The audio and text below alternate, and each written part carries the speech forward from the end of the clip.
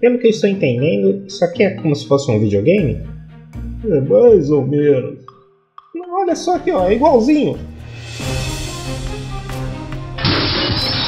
Então, parece um videogame sim, mas não tem vida infinita.